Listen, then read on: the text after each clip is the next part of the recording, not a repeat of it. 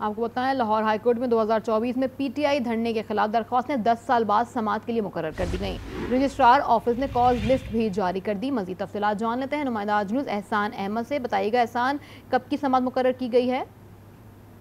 जी, बिल्कुल, पीटीआई के 2014 के धरने के खिलाफ लाहौर हाईकोर्ट में जो दरख्वास्त दायर की गई थी, वो आज 10 साल बाद समाज के लिए मुकर हुई है। लाहौर हाईकोर्ट के रजिस्ट्रार ऑफ़िस ने दरख्वास्त को 10 अक्टूबर के लिए समाज के लिए मुकर किया है।